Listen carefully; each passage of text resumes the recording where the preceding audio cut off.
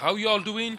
Welcome to my channel. Today i'm going to be showing you the three craziest customs uh, spawns and customs that can spawn anything from random labs cards all the way to graphics cards.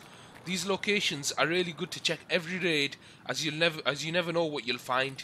But before we get into the video uh, I'd appreciate if you could smash the subscribe button and the like button if you'd like to see more of these sort of videos these helping videos these tutorial videos where um, I go through and explain and uh, help uh, you all get get rich in Tarkov. Um, so these locations are every, uh, good to check every raid.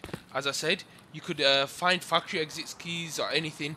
Uh, there's two that everybody knows of, and uh, one that nobody's ever really made a video on. I've never seen no videos.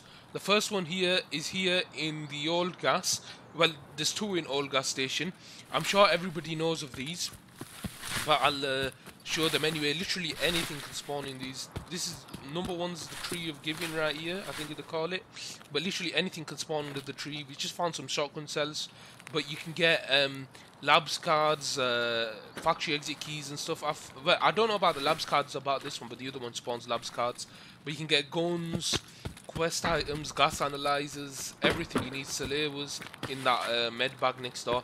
If you just come uh, down here to this little shack, in here you can get anything spawning on here from suppressors, as you can see, there's a suppressor there. You can get hybrid suppressors, which are worth a lot more.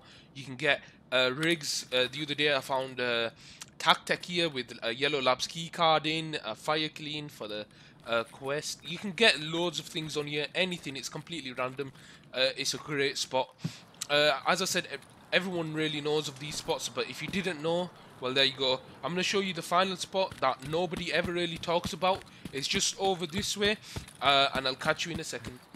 Okay, so you either want to go through the factory exit or jump over that way. I have gotten the factory exit key this wipe so far uh, by doing these loot runs on customs. I will make a video on a good loot run on customs. Uh, that's easy to make money. So you can either go through the factory exit or a tip for everyone. You can actually jump over this thing right here if you stand on the edge You can jump over like that. Anyway, we want to be making our way over to this bush shelter right in front of us right here. Okay, so it's just this bus terminal here, but on your way here, don't forget to check this stash out as you can get so many good things that are good for the early wipe and the late wipe and all your quests, so make sure to check the stashes. I will be making a stash video uh, to help everyone um, out uh, on where all the stashes are on customs. Anyway, so when you're in the bus terminal, there's all these buses the one you want to be looking for is this bus, the furthest to the right. On here, you can find literally um, anything in this spot here. Nothing spawned here because we are in an offline raid. I think, I believe the uh, spawn rates are lower in an offline raid. But literally every raid, something will spawn here. It's literally right there. Um, I stumbled up upon it one day. Um, and I literally found a graphics card the first time and I haven't stopped looting this spot ever since you can find some crazy stuff here you'll be able to get all your gas analyzers for your quests this spot should help your quests your uh, you get money and you just level you up and get you good stuff I've never seen anybody make a video about this spot. I've only seen about the other two spots and not this one. So make sure you check this spot every time you pass by.